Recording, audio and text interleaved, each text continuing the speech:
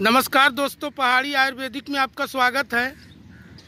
दोस्तों, क्या आप जानते हो, सांपों को पकड़ने वाला आखिर सांपों से डरता क्यों नहीं है और सांपों को दौड़ा दौड़ा कर वह पकड़ता है? और उसी सांप को आम आदमी देखकर भागता है दुम दबाकर।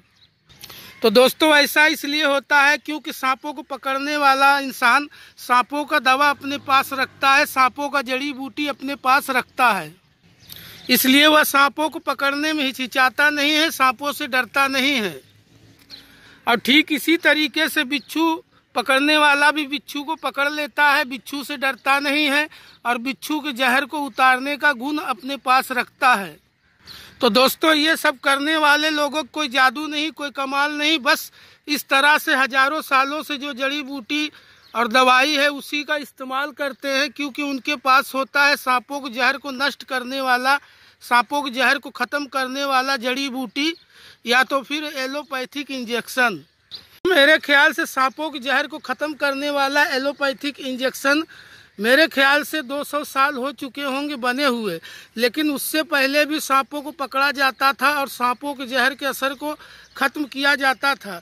तो दोस्तों, ऐसे में आखिर वह लोग क्या इस्तेमाल करते थे? तो दोस्तों, ऐसे में वह लोग इस तरह की जड़ी बूटी इस्तेमाल करते थे। ये देखिए दोस्तों, दुनिया के जितने भी विष है, जहर है, सभी को कम करने वाला पौधा है। इसका नाम है कसौदी।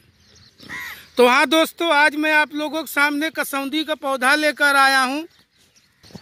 देख लीजिए, पहचान लीजिए, इसके पत्ते इस तरह से भाला के आकार के होते हैं, अंडाकार होते हैं, लेकिन पीछे का हिस्सा नुकीला होता है। दोस्तों, बरसात का मौसम आते ही पत्ते हरे हरे हो गए हैं और छोटे छोटे पौधे भी उत्पन्न हो चुके हैं। ये देखिए, पैदा हो चुके हैं छोटे पौधे भी।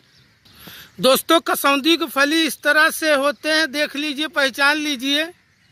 और इसके फूल जो है, पीले पीले होते हैं। फूल अभी खिला नहीं है, लेकिन कली मैं आपको दिखाता हूँ। कुछ कली मुझे दिखाई दे रहे हैं, ये देखिए, पीले पीले हैं। दोस्तों, कसौंदी के दो प्रजाति होते हैं।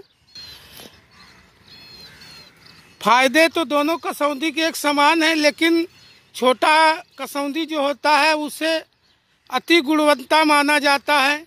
तो जो छोटा कसौंदी होता है, उसे चक्रमर्द कहते हैं, क्योंकि उस पौधे के आकार दो फुट से लेकर ढाई फुट ही पाया जाता है। और जो बड़ा कसौंदी है, उसे कसौंदी ही कहते हैं, वो आठ फुट से लेकर दस फुट तक भी पाया जाता है। फलियाँ दोनों के एक समान ही होते हैं, थोड़ा सा बड़ा छोटा कभी कभी मिलता है। दोस्तों, यह कसौंदी का पौधा जहर और विष पे तो काम करता ही है प्लस या और भी बीमारियों को ठीक करने की क्षमता रखता है।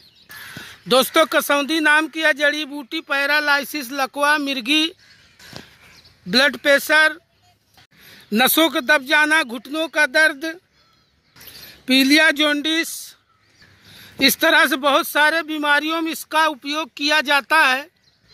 दोस्तों, कसौंदी का पत्ता, छाल, जड़ सभी चीज़ों को इस्तेमाल किया जाता है आयुर्वेदिक औषधियों में। दोस्तों, मेरे जानकारी के अनुसार कसौंदी के जड़ का चूरन मिर्गी रोगियों को सुंघाने से ही मिर्गी रोग शांत हो जाता है। दोस्तों, यह कसौंदी का पौधा कूड़ा करकट कचरों में अपने आप उत्पन्न होता है। इसके पत्तों में से कस्तूरी जैसा गंध निकलता रहता है। दोस्तों, इसके पत्तों को काढ़ा बनाकर नहाने से हर प्रकार के कुष्ठ रोग या फिर चर्म रोग त्वचा रोग नष्ट होता है। दोस्तों या त्वचा में होने वाले हर एक प्रकार के त्वचा रोग को नष्ट करता है। मात्र इसके पत्तों को पीस कर त्वचा रोग पे लगा दिया जाए तो रो, रोग ठीक हो जाता है। दोस्तों यह कसौंदी का चूरन दमा श्वास रोग में भी उपयोगी है। कफवात को दूर करता है मूत्रल भी है।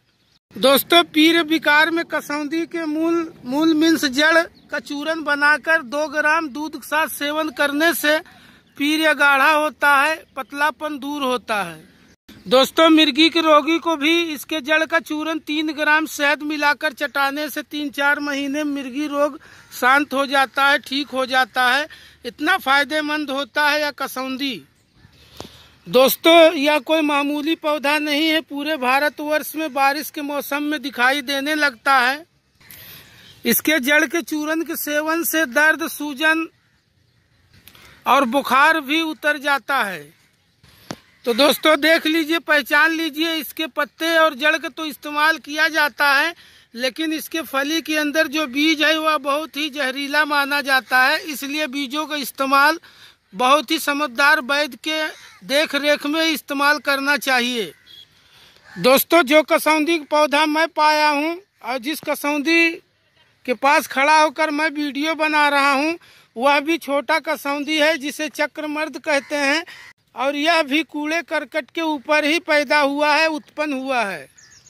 तो दोस्तों, अगर इसका इस्तेमाल आप खुद से करते हैं तो सिर्फ़ आप बाहरी त्वचा रोग में ही इस्तेमाल करके आजमा लीजिएगा, देख लीजिएगा। क्योंकि दोस्तों, खाने के लिए इसे बहुत ही अच्छा वैद्य के देख रेख में ही खाया जाता है।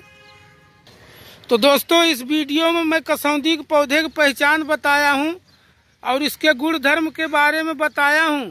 लेकिन किसी को खाने का अनुमति मैं नहीं दे रहा हूँ। हालाँकि बाहरी तौर से त्वचा के ऊपर आप लगा सकते हैं, किसी तरह कोई हानि प्रभाव नहीं होगा। तो चलो दोस्तों, आज की महत्वपूर्ण जानकारी हम यही समाप्त करते हैं। अगर हमारी जानकारी आपको पसंद आए तो हमारे चैनल को लाइक कीजिए, शेयर कीजिए, सब्सक्राइब कीजिए। नमस्कार दोस्तों, पहाड़ी आयुर्वेदिक।